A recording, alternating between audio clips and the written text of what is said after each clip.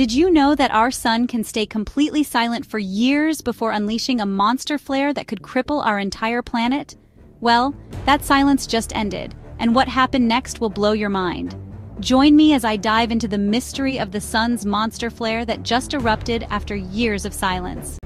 But here's what makes this particular flare absolutely terrifying. For years, our star, the sun, had been quiet, its activity lulled, sunspots few and far between. Scientists tracked this calm, our world growing comfortable, satellites and power grids running smoothly. But on May 14, 2025, everything changed.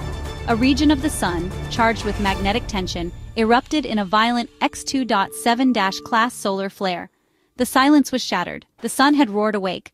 High frequency radio signals on Earth's sunlit side vanished instantly.